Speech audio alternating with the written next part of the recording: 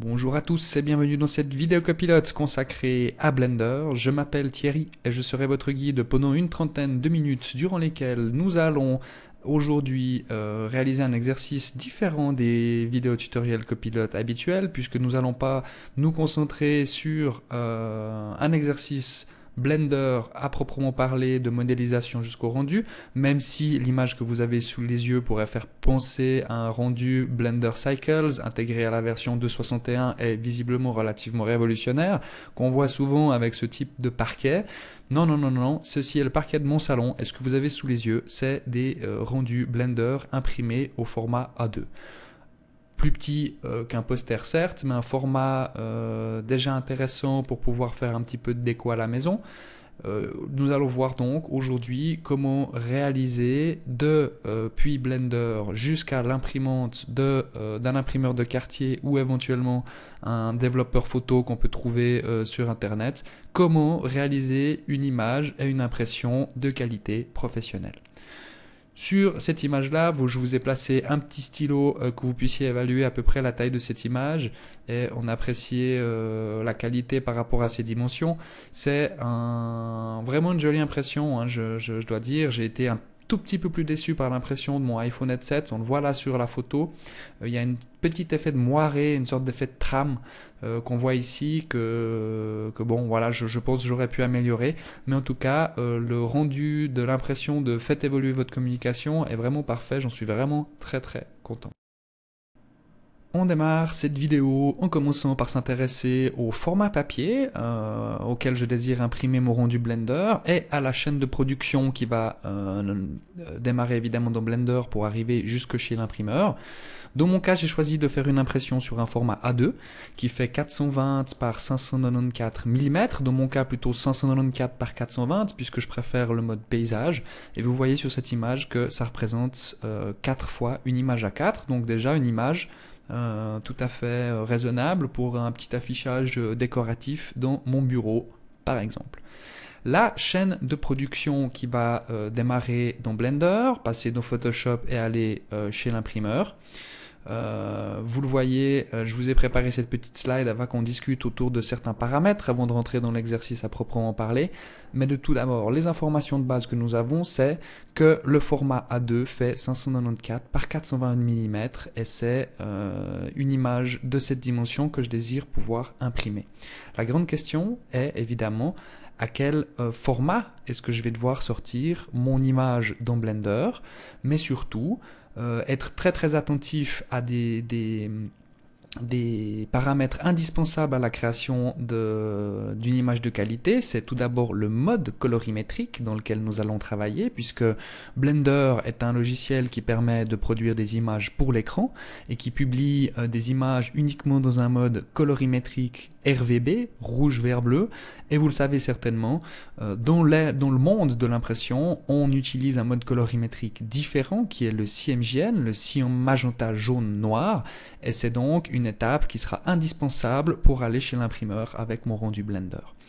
Si vous voulez plus d'informations sur euh, la différence de ces modes colorimétriques, pourquoi est-ce qu'on utilise un mode colorimétrique RVB pour les images d'écran, pourquoi est-ce qu'on utilise du CMJN pour l'impression, on pourrait euh, développer un article dans ce nouveau blog, éventuellement un petit vidéo tuto pour vous l'expliquer. Donc si vous avez des questions, n'hésitez pas à les poster dans les commentaires. Un autre paramètre qui est extrêmement important lors de l'impression, c'est la résolution vous voyez que euh, Blender produit des images que je, je, qualifie entre 70 et 100 dpi, c'est donc euh, la résolution dpi dot per inch, euh, donc des points par pouce, c'est le nombre de pixels que nous avons par pouce, et en préparant des images pour l'écran, la marge se situe en général entre 100 et 100 dpi, puisque c'est la résolution d'un écran, un écran cristaux liquide euh, standard possède entre 70 et 100 pixels par pouce dépendant du fabricant. Vous le savez également peut-être que pour des impressions papier, on doit augmenter cette résolution et augmenter le nombre de points par pouce que nous aurons euh, sous peine d'avoir une image dégradée. Le minimum vital est une résolution de 300 dpi pour de l'impression et c'est donc la résolution finale euh, de notre image qui devra en, adopter euh, les paramètres. Euh, ça, c'est évidemment des informations que vous pouvez euh, trouver euh, auprès de l'imprimeur au moment où vous allez produire l'image, mais c'est en tout cas, dans notre cas, quelque chose de la chaîne de production auquel il faudra être très attentif. La grande question maintenant, c'est mais 594 mm par 420, 300 dpi, mais quelle est la taille en pixels de tout ça?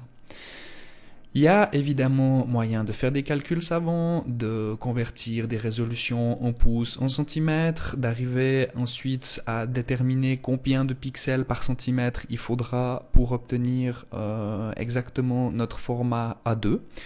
Et évidemment que cette information en pixels sera indispensable puisque c'est celle que nous allons utiliser dans Blender. Puisque nous allons cette fois produire dans Blender une image bien plus grande que d'habitude qui va être très consommatrice en, ressources pour le rendu, mais euh, indispensable à la qualité de la création. Ça, ce sera euh, l'astuce du jour, comment déterminer euh, cette valeur-là sans se casser la tête et sans rentrer dans des, calculs complexes? Ceci se fera dans Photoshop. Et le dernier point que je vais discuter ici sur cette slide, c'est le format d'image que je vais produire.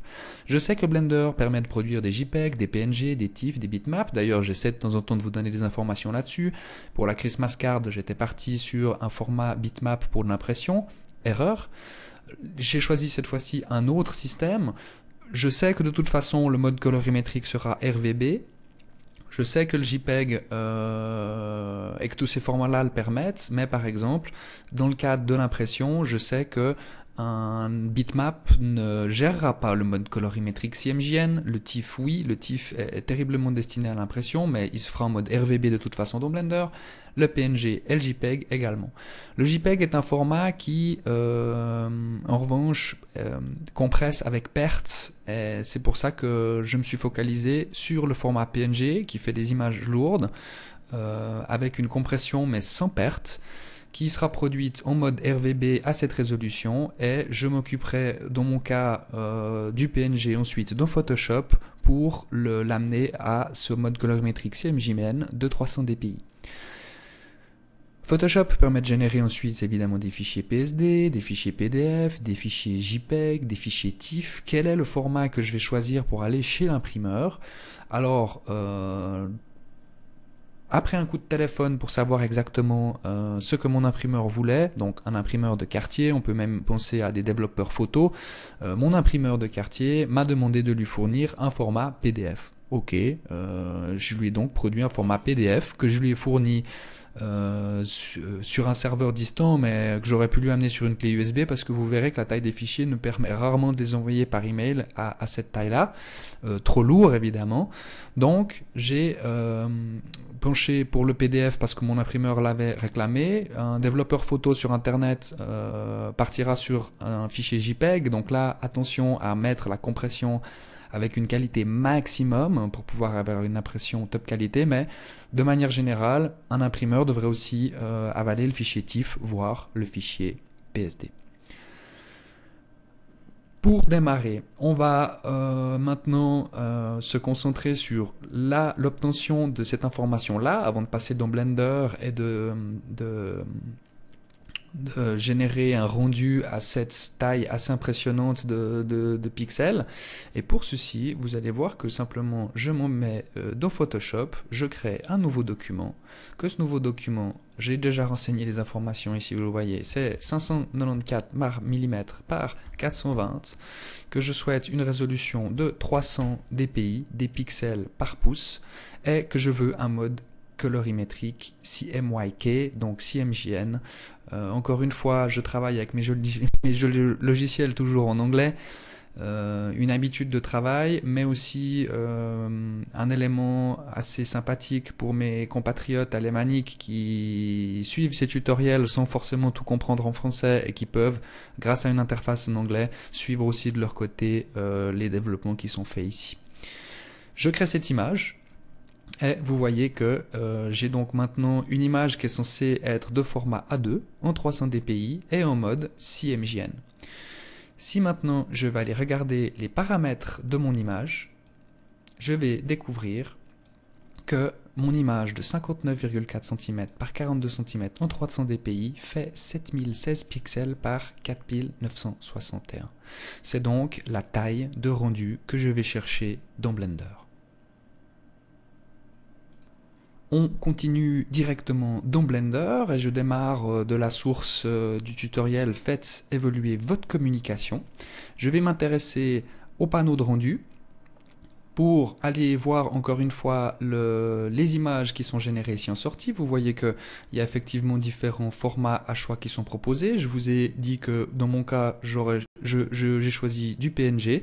Et vous voyez, chose intéressante ici, on en a parlé, il y a les modes colorimétriques dans lesquels on peut euh, générer son image Blender, qui est le BW pour du black and white, le RGB qui est le RVB en anglais, donc du rouge, vert, bleu, et du RGBA qui est le du rouge vers bleu avec le canal alpha. Donc c'est si vous désirez euh, générer des images avec des fonds transparents et typiquement le PNG s'y adapte. Dans notre cas, je vais laisser les paramètres tels qu'ils sont ici euh, dans ma source, mais surtout maintenant, je vais m'intéresser à la résolution de cette image. Puisque je ne peux pas ajouter les points par pouce, je vais simplement me fier à ce que euh, Photoshop nous a dit tout à l'heure, c'est-à-dire générer une image de 716 pixels de large par 490 4961, alors 7016 et 4961 pixels, j'espère que euh, je l'ai dit dans le bon ordre. Et puis, euh, vous remarquerez évidemment que si je me place maintenant vue caméra, je n'ai plus ce format 16 neuvième, mais j'ai le format euh, A2 en, termes de proportion et qu'évidemment il va falloir replacer la scène dans son contexte puisque j'ai les, les, panneaux qui émettent de la lumière ici qui, sont dans le champ de la caméra, que mon plan sort du champ de la caméra. Donc je vais évidemment commencer par déplacer un petit peu ma caméra. Pourquoi pas, je vais la rapprocher. Donc G, 2 fois Z. Je vais rapprocher l'ensemble de mon image et puis essayer de trouver euh, la composition intéressante pour mon rendu. Je peux également sélectionner le plan, faire S pour l'agrandir un peu. Et puis, dans tous les cas de figure, vous pouvez générer un rendu. Alors cette fois, on va peut-être se mettre en 25% et puis je vais euh, sauver ma source sous, une autre, sous un autre nom qui sera le A2 bis puisque je l'ai déjà testé une fois pour vous. Et je vais générer un rendu pour apprécier uniquement la composition. Hein. Vous voyez que j'ai euh, vraisemblablement pour l'impression d'autres améliorations que je vais faire, hein. donc on va parler dans une fraction de seconde et que je suis obligé de dézoomer tellement l'image est grande, même euh, publiée en 25%. Et vous voyez qu'en termes de temps de rendu, évidemment avec une image qui dit image plus grande dit temps de rendu beaucoup beaucoup plus important. L'idée, c'est évidemment de faire une composition intéressante et ensuite d'aller la travailler dans Photoshop. Donc, ce que je vais supprimer dans mon image, c'est le texte ici. Donc, je vais aller euh, faire sauter cette option euh, qui était dans le compositing, qui va me rajouter ici ce texte que je rajouterai à la mano dans Photoshop. Et puis, vous voyez que de toute façon, il est plus positionné à un endroit qui nous intéresse. Et puis surtout, maintenant, je vais chercher à placer ma caméra. Et puis, avec une image grande comme elle est là, euh, je vais essayer de distinguer des détails que je souhaiterais améliorer. Typiquement, vous voyez euh, que mon fil ici fait des angles, qui a une résolution trop faible, donc je vais aller pousser la résolution ici. J'aimerais également que mes, ombres soient plus douces pour l'impression et pas des, ombres aussi tranchées. Donc j'irai jouer sur mes lumières pour augmenter les passes de l'ombre. Donc on va euh, faire ces étapes les unes après les autres. Tout d'abord, on va aller dans le Node Editor Et puis euh, ici, j'ai donc l'image euh, Faites évoluer votre communication que je ne souhaite plus mélanger. Donc je vais prendre directement la sortie de la composition de la retouche colorimétrique ici, la mettre dans le viewer, faire disparaître mon texte et puis ne pas oublier de, de la connecter également au nœud composition ici. Ensuite, je vais m'intéresser à la vue 3D. Je vais aller sélectionner ici moi, ma courbe des Béziers qui, fait le câble. Et puis, je vais tout simplement lui demander au moment du rendu, ici, d'augmenter la résolution que je vais passer à 50. En preview, vous voyez ici, j'ai une résolution à 12. Si je pousse la résolution, vous voyez que le, câble se lisse. Ici, les angles se lissent puisqu'on augmente évidemment le nombre de, de crans que la résolution porte. Et si je le mets à 50, vous voyez que j'ai quelque chose d'à peu près lisse. Donc, euh, pour le rendu, je vais le laisser ainsi. Je vais également euh, sélectionner cette lampe qui est celle qui génère l'ombre et je vais augmenter le nombre de passes ici. Je vais le mettre à 8 pour pouvoir euh, avoir des ombres beaucoup, beaucoup plus douces. Je vais repasser en vue caméra, je ne suis pas content de la composition, la caméra est trop proche, donc G 2 fois Z, je vais le reculer légèrement. Je vais également, pourquoi pas, euh, effectuer une petite rotation. R 2 fois X pour faire une rotation sur l'axe local de la caméra. G, Z présent pour la descendre. R 2 fois X pour la replacer. Et puis, je vais amener ma composition. Alors, j'ai ZZ, je vais amener ma composition pour pouvoir avoir l'espace ici nécessaire encore pour inscrire mon texte. Mon texte. Je vais la placer un peu par là. On va cette fois même demander un rendu en 15%. Et puis vous verrez que évidemment le temps de rendu va, va chaque fois augmenter au fur et à mesure que j'améliore les paramètres. Et vous voyez déjà là mon câble qui est beaucoup plus lisse. Je devine ici qu'il n'est pas tout à fait posé sur le plan. Et puis euh, je vois tout de suite la différence avec les ombres d'avoir passé les passes à, 8 donne des ombres beaucoup plus douces et beaucoup plus fines qui seront euh, beaucoup plus appropriées euh, pour l'impression. Ah, on est pas mal. Je pense que je vais encore déplacer ma caméra. Celle-ci est peut-être un tout petit peu trop au bord de l'écran.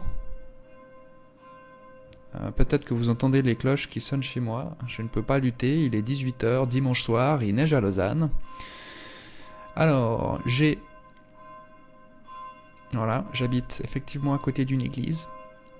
Et puis je vais faire un rendu cette fois en ayant juste trouvé la bonne composition, le bon angle de caméra, c'est des éléments indispensables hein, quand on veut créer euh, ce type de scène.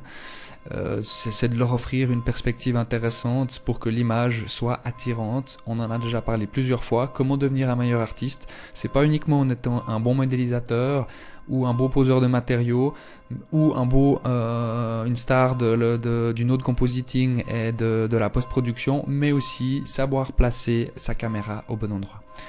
Mon image me plaît ainsi. Je vais donc euh, me lancer dans un rendu à 100%. Et cette fois, donc, je passe ici dans le panneau de rendu à 100. Je fais une dernière petite sauvegarde et je lance le rendu de mon image en taille maximum et vous verrez que c'est colossal et que cette fois le temps de rendu va en être alors absolument décuplé. Euh, malgré ma jolie bécane, euh, je pense qu'on est parti pour quelques minutes de rendu, donc je vous dis à tout de suite, je vous retrouve dès que c'est terminé. Après quelques minutes de patience, le rendu est terminé. J'aurais pu euh, jouer encore euh, en vue d'avoir une qualité vraiment exceptionnelle, mais bon, je voulais pas trop pousser le, temps de rendu sur euh, ici l'option anti-aliasing, qui est donc l'anti-crénelage que j'aurais pu pousser à 16 pourquoi pas cocher l'option full sample, mais là vous pourrez laisser tourner le processeur un moment pour faire votre rendu mais mon image ainsi est euh, satisfaisante. Je vais donc la sauver en pressant F3. Je vais euh, faire une nouvelle image de format A2 de, euh, de mon tutoriel. Faites évoluer votre communication. Et puis, je vais ensuite, alors, même l'enregistrement prend un certain temps, je vais ensuite récupérer cette image directement dans Photoshop pour euh, la convertir, donc ce format PNG qui est en mode RVB 72 dpi, dans un mode CMJN de 300 dpi. Alors, même l'enregistrement se fait désirer. Euh, je vois que les ressources se consomment, que mes barrettes de mémoire vive se remplissent. J'ai déjà rempli euh, une barrette de 4 Go et l'autre est en train de se remplir. C'est impressionnant. Mon image, je vais pouvoir, voilà, c'est terminé, la récupérer ici. Vous voyez que mon image fait quand même 26 mégas. Je vais maintenant simplement la glisser déposer dans Photoshop. Et puis, vous voyez que ici j'ai mon image qui est euh, à 8%, donc un double clic sur la loupe me permet de passer en 100% et d'évaluer la qualité de mon rendu. C'est vraiment intéressant d'avoir une image avec autant de pixels, puisque vous voyez ici, on peut deviner euh, du lissage qui n'est pas parfait. Mon câble, par contre, est bien, euh, exactement ce que je vous disais, il n'est pas visiblement posé exactement sur le sol, puisque je devine l'ombre, mais bon, c'est du détail dont je vais m'accommoder. Et puis, euh, s'il est vrai que si je voulais vraiment aller voir au pixel près, vous voyez que le, je zoome en 1200 fois pour commencer à apercevoir du pixel. Donc, on a vraiment ici une image de très très très haute euh, qualité. Un petit peu de retouche dans Blender est indispensable pour pouvoir euh, certainement corriger certains petits détails qu'on ne voit pas sur une image plus petite, mais là, vu le format d'impression, on verra des défauts s'il y en a. Je vais maintenant sélectionner CTRL A l'ensemble de cette plaque de pixels. CTRL C pour la copier et puis je vais passer dans l'image que j'ai créée tout à l'heure pour faire un CTRL V et vous voyez que ça remplit parfaitement l'image de 7000 euh, par 4900 pixels avec un format, un mode colorimétrique CMJN. Pour euh, comprendre peut-être un peu mieux, vous voyez que euh, ici dans les channels, c'est-à-dire les canaux, je vois que j'ai effectivement mes différents canaux qui seront les informations indispensables pour l'imprimante qui est le noir, le jaune, le magenta, le cyan et l'ensemble mélangé me donne évidemment mon image colorée. Si je me penche sur le PNG généré par Blender, vous voyez que les canaux sont différents. J'ai un mode RGB où j'ai les quatre canaux de couleur, le rouge, le gris, le, vert pardon, et le bleu, qui permettent de générer l'image colorée dans le mode RVB. Donc très important cette étape pour pouvoir aller euh, à l'impression. Il me reste plus qu'à sauver maintenant cette image, donc je vais évidemment la sauver une première fois dans un mode euh, PSD, qui va me permettre de rééditer mon image, puisque en fait j'ai pas tout à fait fini. Je voulais ajouter encore ici mon texte. Euh, pourquoi tout, tout, ça? Voilà, je vais laisser l'ensemble sélectionné. Tac. Donc faites évoluer votre que je vais passer directement dans un gris foncé. Je suis pas trop un adepte du noir. Et puis, je vais faire, en ayant le calque sélectionné ici, un CTRL J pour marquer communication. Une petite correction ici avec mon fait. Et puis, euh, je vais maintenant pouvoir placer mon texte. Alors, on va zoomer quand même un petit peu sur cette image. Vous voyez qu'ils sont alors, quelles sont les options qui sont cochées pour mes textes? Je ne veux pas le faux gras, je veux du semi-bold, ok. Et puis, donc, j'utilise une police qui est Myriad Pro, qui est vraiment très très belle, qui vient de base avec Windows 7. Je laisse en semi-bold et je décoche cette option que je ne voulais pas. Et puis, il manque un M à communication, sauf erreur. Je vais commencer par agrandir ce texte-là. Vous voyez que dans Photoshop, euh, je travaille avec des textes type vectoriel qui ne souffrent pas de pixelisation à l'agrandissement, un gros avantage depuis de nombreuses générations de Photoshop. Et puis ici, mon fait évoluer que je vais à peu près faire partir de la barre du M jusqu'à mon I. Voilà. Donc CTRL T pour redimensionner votre image, vous sélectionnez le bon calque, CTRL T et vous pouvez la modifier. Vous pouvez réaliser aussi cet exercice dans un logiciel open source tel que GIMP. Enfin, il faut euh, que vous ayez un logiciel suffisamment avancé pour pouvoir paramétrer la résolution et le mode colorimétrique. À partir de la composition de mon image ici, vous êtes évidemment libre de venir ajouter tout ce qui vous plaira. Et puis, je vais maintenant CTRL S la sauver au format PSD. Et puis, je vais maintenant faire ce que euh, l'imprimeur m'avait demandé de faire, c'est-à-dire en générer un PDF. Si vous voulez générer un JPEG ou une autre, un autre format d'image, puisque vous vous renseignez-vous sur le format d'image avant impression de toute façon, mais euh, ne n'utilisez pas l'option Save for Web, donc enregistrer pour le web, puisque sinon vous, vous, automatiquement vous ferez retomber la résolution à, entre 70 et 100 dpi. Donc faites un Save As et sélectionnez ici le format qui vous intéresse, le TIFF, le JPEG, et dans mon cas, euh, pour ce que m'a euh, réclamé l'imprimeur du coin, un PDF. Au moment d'enregistrer le PDF, je vais avoir toute une série euh, d'options, toujours paramétrables ici. Je vais juste m'intéresser à la compression, à laquelle je vais demander une compression JPEG maximum pour mon image. Euh, toute image au-dessus de 450 dpi sera rééchantillonnée en 300, ça me va très bien, 300 étant le minimum que je souhaite, et il ne me reste plus qu'à sauver le PDF, qui va également certainement prendre un certain temps. Et puis, je vais ensuite aller observer ici. Alors, on va voir exactement où il en est. Et puis, on va pouvoir ainsi euh, déterminer le poids de ce fichier qui, vous verrez, est conséquent. Mon image, alors, le PDF a été généré, merci bien. Mon image euh, faisait déjà 28 mégas au format PNG. Vous voyez que mon PDF fait 137 mégabytes. Je peux l'ouvrir pour euh, en apprécier la qualité. Et vous voyez que euh, je suis là en 29% seulement en zoom, donc je vais passer en 100% pour apprécier un petit peu la qualité du PDF. Regardez également votre texte, pas qu'il soit crénelé. Donc la poly, que, que, tout ceci reste bien lisse à, ce niveau-là. Et puis, euh, j'ai fait parvenir tout simplement ce document euh, PDF de 100 mégas en, le déposant sur un serveur web que mon imprimeur a pu télécharger. Je lui ai demandé, euh, important, de valider que mon image était suffisamment euh, bonne qualité avant évidemment de lancer l'impression, que le format lui convenait et le résultat était plutôt euh, concluant puisque j'ai fait donc euh, cette image, fait évoluer votre communication et l'image des iPhone headsets a un format PDF que je vais euh, pourquoi pas pouvoir vous montrer ici. Et vous voyez que ces deux images sont vraiment très lourdes mais que le rendu était vraiment très très intéressant au niveau de l'impression mais que ça demande quand même un certain travail. J'imagine qu'il y a d'autres techniques qu'on peut aborder pour en aller jusque là mais en tout cas celle-ci elle a fait ses preuves puisque j'ai dans mon salon maintenant des images très sympathiques pour enfin elles sont en préparation pour décorer mon bureau disons puisque euh, tout le monde ici euh, n'était pas, euh, n'envisageait pas de décorer tout l'appartement avec ces images.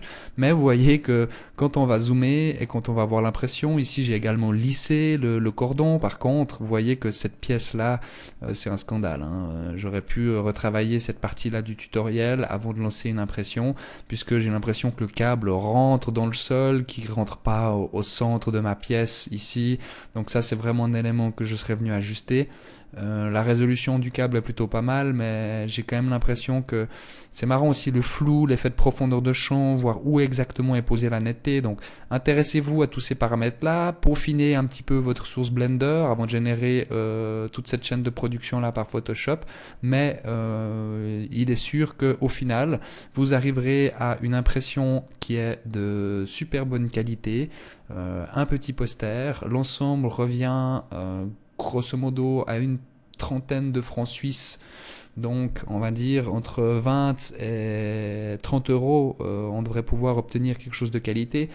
Euh, en, m'adressant à un imprimeur de quartier, j'ai certainement pas pris l'option la moins chère non plus. J'imagine que euh, en dehors des frontières suisses, on doit trouver des, solutions peut-être meilleur marché. Donc, à vous de partir à la recherche des solutions qui vous intéressent et pourquoi pas d'imprimer vos rendus dans Blender.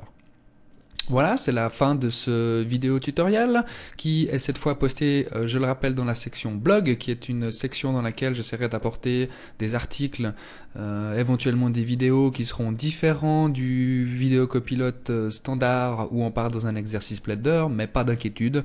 Je planche sur d'autres thèmes. Il y a évidemment le nouveau moteur de rendu Blender Cycles qui est à présent intégré à la version 2.61 sur laquelle il va impérativement savoir falloir se pencher euh, très prochainement. Donc je vous retrouve tout bientôt pour une vidéo copilote.